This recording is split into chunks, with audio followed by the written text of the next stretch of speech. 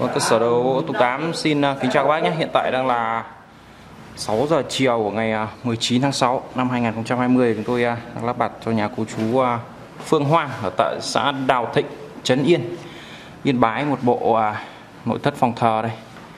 Và chiếc sập ngũ phúc chất liệu gỗ dâu kích thước 1m6 nhân 2m và phía trên này là một bức chắn bình phong cũng như là bộ cuốn thư câu đối bằng chất liệu gỗ vụn hình ảnh cái sản phẩm chúng tôi vừa bàn giao và lắp đặt cho gia đình đây. Thì cái không gian này hơi uh, hẹp nên tôi quay không hết được cái góc máy này đây. Thì, uh,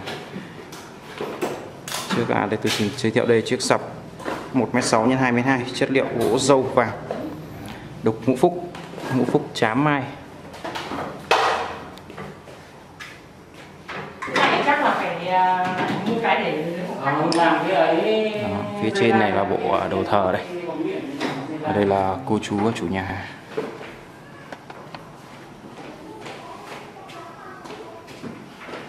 Này à, mai gọi bạn lên các bạn thích để làm cho cái. Đây là cô chủ nhà mọi người nhé. Đây cô chủ nhà đây. Thì hôm nay cho lắp đặt cái bộ sản phẩm này thì cô có thấy hài lòng với chất lượng không cô? Như là mẫu mã như này.